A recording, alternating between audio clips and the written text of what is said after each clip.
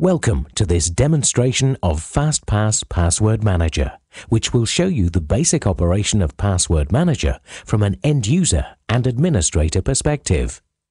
Just back from holiday or accessing a rarely used system and you can't remember the password? We all know that feeling.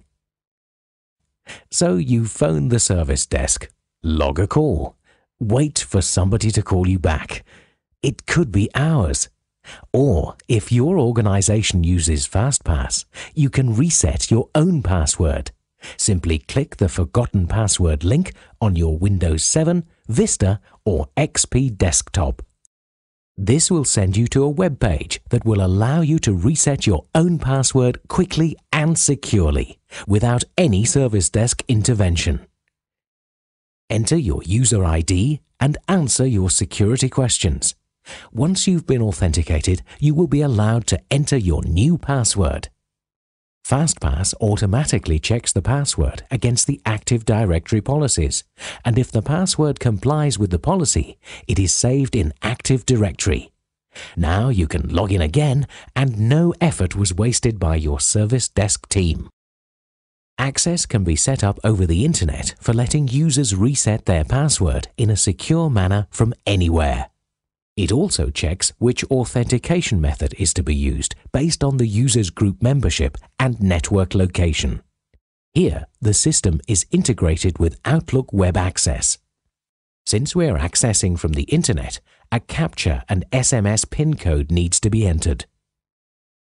The SMS PIN code is used for stronger authentication. The PIN will have to be entered before answering the security questions. In this way, the user's phone acts as a token for strong authentication. Before users can use the system, they need to enroll by answering a number of private questions. FastPass will automatically send out reminders to the users to enroll into the system. Following the link and answering the questions will complete the enrollment. The number of questions for enrollment and the actual questions can be customized. Users are automatically discovered from Active Directory.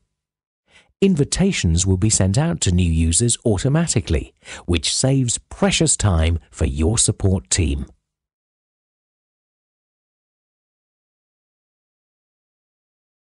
FastPass can manage passwords for other platforms using two different approaches.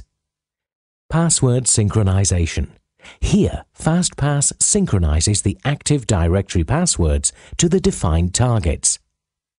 An interceptor enforces both password changes and resets to be synchronized without the end users noticing. Selective Password Reset In this approach, users can even select which target system any password reset applies to. Here you can see the administration pages in FastPass, which are also fully web-based. And you can see how powerful and yet easy it is to administer FastPass. On the main page, you are able to handle your user repositories. On the enrollment main page, as in all other functions, the system is profile-based this enables you to manage the enrollment process dynamically and allows you to handle multiple languages, for instance, for a phased rollout. Under each profile, you can manage user groups and the emails to be sent out. Notification service is used for security and auditing. It will send out notifications when specific events occur. For instance, when someone's password has been reset or someone failed to answer the security questions. The event is forwarded by mail or SMS. Notifications can be sent to the end user or to a predefined mailbox. Notifications can also be used to integrate directly with your service management system. There's a whole range of options in using FastPass. If you have questions or if you would like to try the solution itself, do not hesitate to contact us.